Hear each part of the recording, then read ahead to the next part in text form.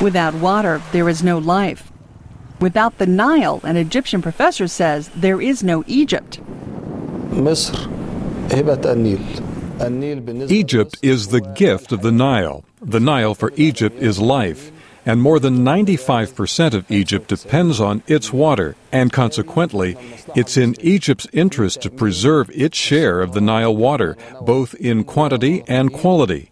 It's a matter of destiny and is linked to the existence of the Egyptian state itself, and therefore it can't be touched. Ayman Shabana is a political science professor at Cairo University. He says Egypt seeks negotiations with its Nile River Basin partners, but needs to conduct further studies to maximize its share of the Nile water. However, at least five of the nine countries that make up the Nile River Basin have decided not to wait. Uganda, Tanzania, Rwanda, Kenya, and Ethiopia signed an agreement last month giving themselves greater control of the Nile waters. The move has angered the Egyptian government, which threatens to challenge the agreement. Letitia Obeng is with Global Water Partnership. She says water disputes rarely erupt into war, which is why negotiations are so important. There's over 260 shared basins around the world, and that, that's that's a huge number. And most countries share water in some way or another.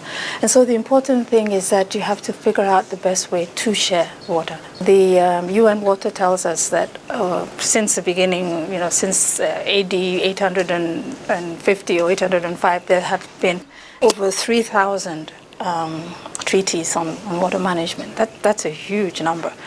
So countries have realized that it's important to find a way to, to work on, on managing water together. Treaties dating back more than 50 years grant Egypt as much as 75% of the Nile's waters and veto power on any projects that could disrupt its flow. Sudan has a right to more than 10% of the Nile's water, and the other seven countries on the river share the rest. Professor Shabana says, unlike Egypt, the Nile is not the only source of water for the other Nile Basin countries. Their water problems, he says, stem from poor resource management. Such countries need rational administration of water resources because they possess enormous water resources. Incidentally, Democratic Congo does not care at all about water. It has the Congo River, which is larger and wider than the Nile River. It also has groundwater. It has yearly 40 billion cubic meters.